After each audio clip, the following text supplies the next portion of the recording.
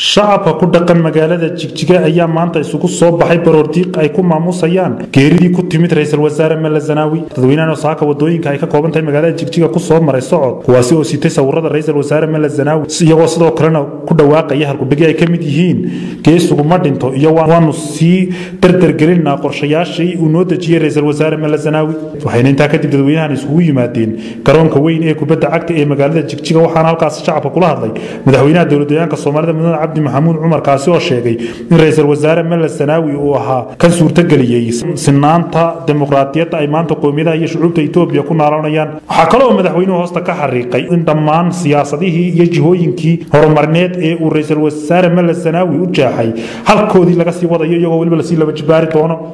Haddaan nahay shacabka dowladda deegaanka soomaalida iyo dowladda oo isku duuban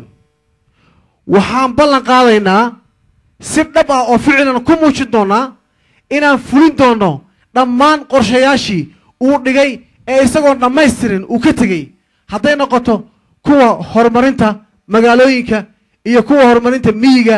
iyo kuwa horumarinta kaabayaasha dhaqaalaha iyo kuwa horumarinta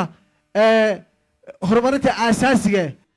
sidoo kale madaxweyne ku-xigeenka dowladdeegaanka soomaalida ahna nabadgelyada. Mudane cabdilaahi yuusuf weerar ayaa tilmaamay in ra'iisul wasaare mele zanaawi uu ahaa xubin aan la ilaawi karin heerka uu gaadhsiiyey dalka etoobiya sidaa darteedna ay shacabka iyo dowladdeegaanka soomaalidu si loo xusuusto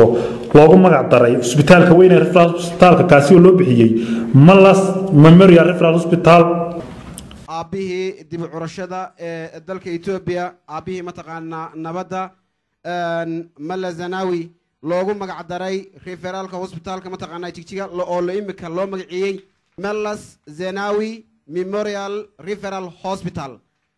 waxaa iyaguna fagaaraha sidoo kale ka hadlay saraakiisha ciidanka qaranka iyo saraakiisha ciidanka booliska gaarka dowlad deegaanka soomaalida iyo weliba boolis federaalka kuwaasi oo dhammaantood halka ka soo jeediyey. Fariinta ku aadan baroordiiqdan